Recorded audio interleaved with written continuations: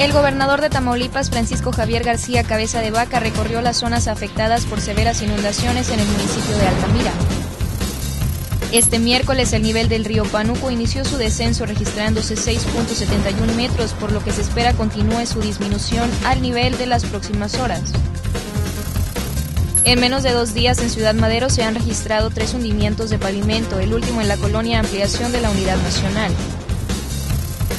Para el DIF Reynosa, las problemáticas de salud actuales demandan que en las acciones preventivas se amplíen a otros tipos de cáncer. Miembros de la Asociación Ganadera de Matamoros se preparan para iniciar con el programa Mejoramiento Genético. Margarita Zavala dejará el Partido Acción Nacional para registrarse como candidata independiente por la presidencia de México. El Ministerio de Defensa de Rusia dio a conocer que submarinos rusos lanzaron 10 misiles contra objetivos del Estado Islámico.